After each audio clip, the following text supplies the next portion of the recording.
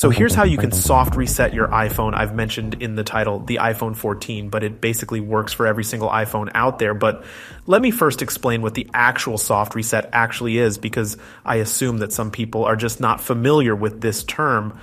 Anyways, as you use your iPhone normally throughout the day, it stores a lot of temporary data in its memory, such as app data, cache files, and system processes, or other stuff like this. And over time, this data can build up a lot and cause your iPhone to slow down or even become unresponsive.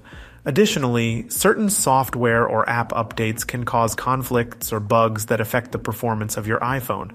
This isn't really the case a lot, but still happens. Uh, so that's where a soft reset can come in handy. By performing a soft reset, you're essentially clearing out some of the temporary data and restarting the iPhone's operating system. So it's like a fresh start for all the processes, which can help resolve minor issues and improve the performance of your iPhone. But the main difference is that our soft reset generally doesn't delete any information, any data from your iPhone, unlike the hard reset that leaves you with an empty iPhone, and usually this isn't something we want. Okay, but how do you actually do it?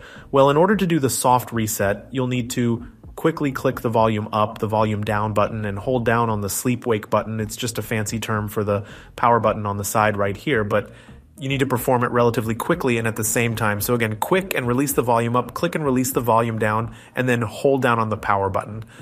At first, you'll see the regular slider to turn it off. You don't touch it, you don't do anything, but holding on the power button, and you do it until you see the Apple logo appear on the screen. Then you can release the button and let your iPhone restart. Once the iPhone runs again, you'll then be able to use it normally and you'll likely notice a slightly better performance. I also want to say that it is, in fact, a different method compared to just sliding to power off. Because take a look at this.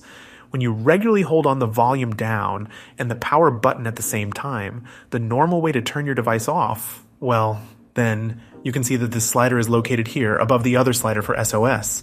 However, when you perform the clicking gesture with the intention to, quote, soft reset the iPhone, then there is only one slider, so no SOS thing going on, and it's also positioned slightly more to the top. Not that it would be really that important, I'm just saying that it does, in fact, do a different thing software wise. So, yeah, this is how it works, and also, this is probably everything what I wanted to say in this video as well. If you liked it, if you found it valuable, and if it actually helped you out, then I'd really appreciate if you hit that like button under this video. And for more videos and tutorials like this one, make sure you are subscribed to the Foxtecc YouTube channel. Thanks a lot for watching and your support, and I'll see you guys later. Peace.